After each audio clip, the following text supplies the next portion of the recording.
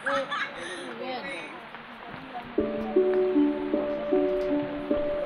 mo sana yung pera.